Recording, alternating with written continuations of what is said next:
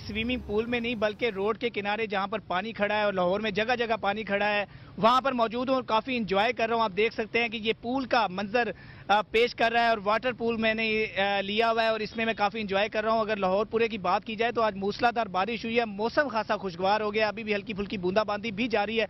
लेकिन जो निकासी आब है वो उसके नाकिस इंतज़ाम जो है वो देखने में आए हैं। वासा बिल्कुल पानी निकालने में नाकाम हो गया। गली मोहल्लों में लोगों के पूल तो बन चुके हैं। तो वो ये यकीनन वाटर पूल लेकर उसमें इंजॉय करें। क्योंकि उनके उनका पानी जल्दी तो ख़त्म होने वाला नहीं है, क्योंकि वासा की मशीनें जो हैं वो नाकाम नज़र आ रही हैं। लक्ष्मी चौक, शादरा, ग्रीन टाउन, उसके साथ साथ जे रोड और फिर प्रेस क्लब के बाहर जहाँ पर मैं मौजूद हूँ, यहाँ पर पूल बन चुके हैं और इनको इसी तरह से इंजॉय किया जा सकता है।